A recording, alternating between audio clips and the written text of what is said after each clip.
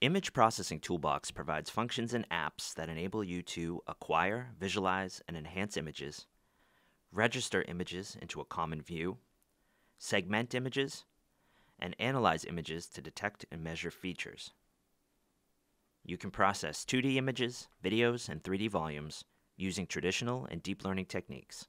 The toolbox also supports processing of very large images that do not fit in memory. Images with non-uniform illumination or poor contrast can be corrected, making it easier to identify key features. You can perform haze removal and low light enhancement techniques to remove noise, sharpen images, and enhance the dynamic range. You can perform image registration using intensity-based automatic registration, control point registration, and automated feature matching. The Image Segmentation app and Color Thresholder app help you implement and compare different segmentation techniques.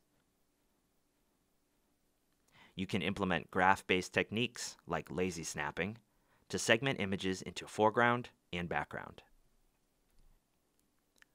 You can use functions to identify shapes and edges in images and measure properties like area, centroid, or others. Image transforms can be used to find features that may not be detected in the spatial domain. You can import 3D volumes from a variety of file formats, such as DICOM and TIFF, and use 3D specific functions to perform complete image processing workflows. The Volume Viewer app can be used to visualize the 3D volumes. You can then perform segmentation and analysis. You can also accelerate your algorithms by running them on multi-core processors and GPUs.